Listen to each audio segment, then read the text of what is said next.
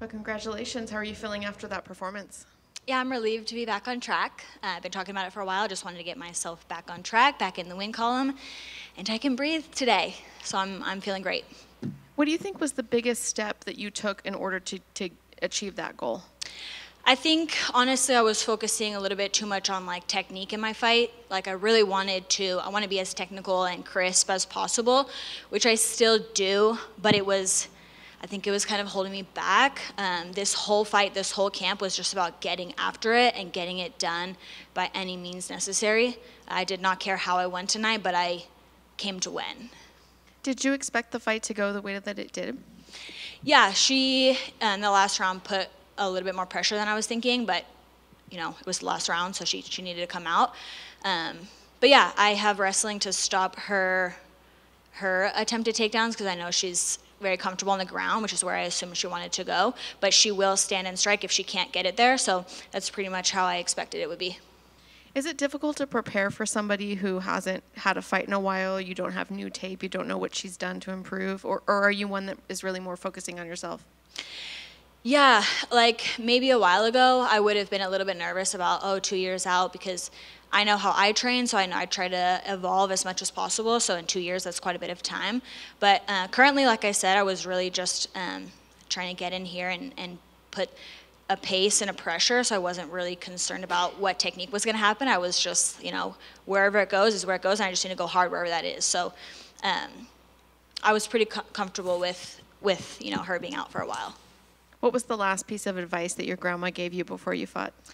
I heard her in the third round, so I was super, super excited. But uh, yesterday she was on fire. She was she's wild. Let me tell you, my grandma's wild. Uh, she loves fighting. She loves me, and she's just she was hyped, very hyped. I I don't know exactly what she said. Probably couldn't say everything of what she said, but she pretty much said, uh, "Kick ass, get after it, and get it done." Uh, what's the next step for you? When do you want to get back in there? Do you have an opponent in mind, a date, a location, anything like that? I want to stay active. Um, the is almost over, so I'd probably like to just hang out the rest of the year. We're moving gyms, so kind of have some personal things. And then beginning of the year, uh, line it up. I don't care who, I don't care when or where. Last question. There was some big USADA news this week. Uh, you know, all of that happening during a fight camp when you were preparing. Was that did it throw you off at all, or do you have any thoughts on on switching now to a different drug testing facility? It didn't uh, throw me off at all. Um, you know, for me, USADA is just something that like we need to do. So it's just like I'm not constantly worrying about it. Just something that like is is a part of the job. So um, they're switching over. Cool. We'll see how it shakes out, how smooth it is. But I'm not worried about it. Thank you. Are you one of the fighters that had any kind of weird moments when it came to the USADA coming at early hours or anything that was distracting? I uh, have not had any issues with them. Like, thankfully, they've been really great, uh, very professional, very nice. So um, I see them, I do what we need to do, and then we go on our ways. That's good. Well, it seems like the, the, the brass is taking lots of fighter input, so I'm not sure if you're the kind that wants to input and say what you think about the drug testing program, especially when it comes to like the hours and stuff, but they seem pretty receptive. When you hear things like that, does that feel good for you, knowing that they want to take fighters' input and how the new program is going to get uh, set up? Yeah, I do like, um, you know, I haven't been inconvenienced at like weird times or whatever, so I'm really thankful for that. You know, those big, I feel like they go after more like the big name people and try to do that. You or the bigger name people, you know, will call it out more, I guess. But um, luckily, I haven't had to deal with that. But it it is inconvenient. You know, if you're on a sleep regimen, you know, when you're close to a fight, you're on a very strict schedule. So you want to get your sleep, you want to get your rest, you're kind of on a routine.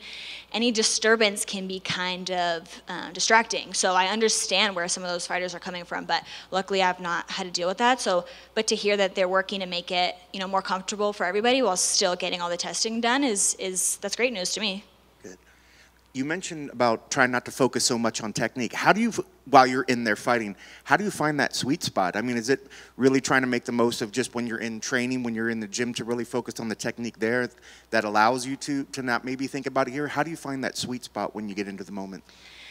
I feel like a lot of fighters go through phases, or like at least I do, where like I focus on different things at different times, and I, I just got really like hyper focused on like wanting to be super crisp, super technical, and and that's awesome. I still do, but I I do feel like you know I was waiting for the timing in the fights, and if it doesn't happen, then you are not active. So.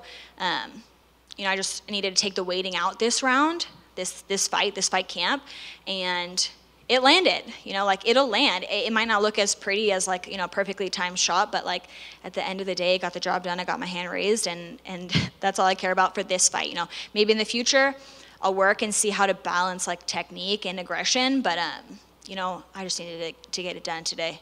Well, looking at the results of the techniques today, you know, you definitely marked her up, cut her up above both eyes. You know, you got to be pretty happy with how your striking was playing out out there. Yeah, I, I only saw one cut, so I was trying to like target that. Uh, I didn't realize it was two until after.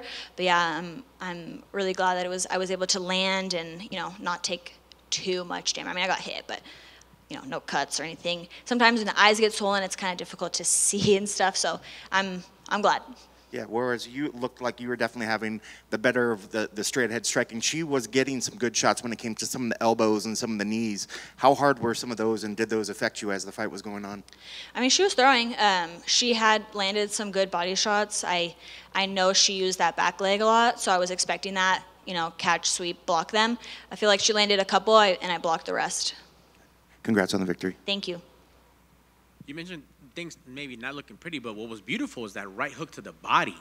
Did you guys study that in her fights? Because it was there for you all night. I love the body shots. I love the body work. Um, I just haven't been able to land them. So really glad that they worked out tonight. And uh, her being so long and lanky, I knew that the bo- either the body or the head was going to be open. So really, we just worked on rotating between the two. If head's open, you know, go there. If the body's open, go there. Yes, and you, I'm sure you have to have once you see the tape, of course you have to be happy with your boxing tonight because that looked on point. The shots were there. You found your range, and uh, how happy were you that she just kept coming forward though? Props to Yoder. She was not having it and just Terminator towards you. Yeah, she's tough for sure. Um, she has a lot of fights like me. You know, a lot of people in the UFC don't have a lot of fights or a lot of, I guess, experience coming in before. Yoder, myself, and quite a bit of other people on the roster have pre-UFC experience, so I feel like that plays out and and she was really tough. And now that you uh, got the first fight out of the way, you could enjoy the show. Was it nice to just be like, okay, went to work, now I can relax? I was so excited that it was the first fight. Um, honestly, early, I love early. 11, 1 o'clock, that's perfect time for me.